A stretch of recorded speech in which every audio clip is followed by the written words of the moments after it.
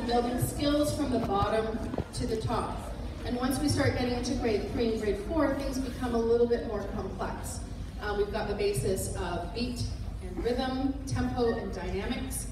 Um, now we start to add some other skills in grades four and grade five, as you just previously heard, where um, we're adding things like harmony and so forth. And in grade four, we're learning more movement skills in the way of learning instruments, which helps to prepare us for instrumental music in grade seven. We've also been teaching some Canadian history with folk songs like the Log Driver's Waltz, uh, written by Canadian Wade Hemsworth and made uh, famous with the cartoon from the National Film Board and the uh, version of that song by Quebec folk singers Kate and Anna McGarrigle. Um, music is a skill that needs to be built from the bottom up like math. I also want to take this opportunity to introduce professional musicians that are going to be joining us. So boys and girls, I'd like to introduce you at the piano to um, Dr. Erica Ryman, who is a professional musician in Hamilton and a friend of mine.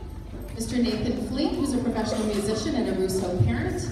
And Mr. Alonzo, who is a professional musician and a Russo parent. Thank you for being here today. Uh, careers in careers in music can include being performers, like we have here today. Uh, but these people are also uh, um, variously composers, arrangers of music, um, music professors. Um, music education is a big, uh, big opportunity for jobs in music, music management, administration of orchestras, bands, musicals. There's even music librarians. And so there's an absolutely huge industry and lots of opportunity for us to enjoy music and to share it with the world. Ms. Mushala's class has just begun to play the recorder, and I'm very, very proud of them. We normally have much better posture when we're standing or sitting, um, but we're, we're in this position today just so that everyone can see what they're doing and you can enjoy watching them. Okay, we ready?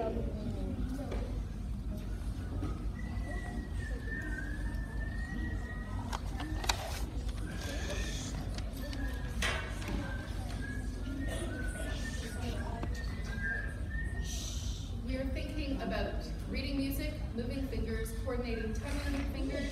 We're thinking about um, making a proper sound, having good posture, covering the holes properly. There's so many things that go on that engage all parts of our brain, both sides.